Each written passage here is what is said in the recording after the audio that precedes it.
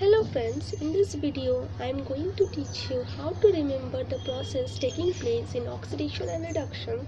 We often get confused between the two terms. So after watching this video I hope you won't find any difficulty to remember oxidation and reduction. Okay, so let me start.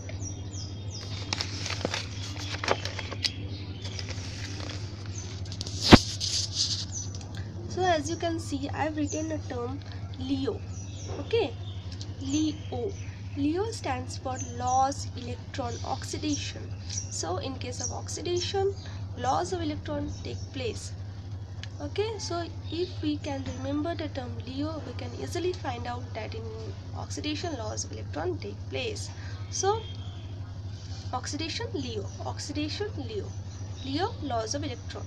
Okay, in oxidation okay. So next term is here GER. In case of GER or reduction gain of electrons take place. Gain electron reduction. Okay. So in case of electron we know gain of elect uh, in case of reduction we know gain of electrons take place. So if we have to remember the term reduction if we can remember only charge so we can easily relate the process. Okay that in reduction gain of electrons take place. Thank you